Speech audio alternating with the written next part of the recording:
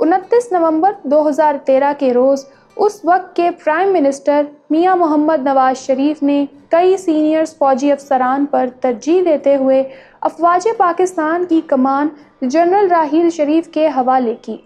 याद रहे कि सीनियरिटी बेसिस पर राहील शरीफ तीसरे नंबर पर आते थे। उस वक्त पाक फौज के सबसे senior officer lieutenant general Haroon Aslam थे। जबकि जनरल राशिद महमूद का दूसरा नंबर था, जो चीफ ऑफ़ जनरल स्टाफ और कॉर कमांडर लाहौर रह चुके थे।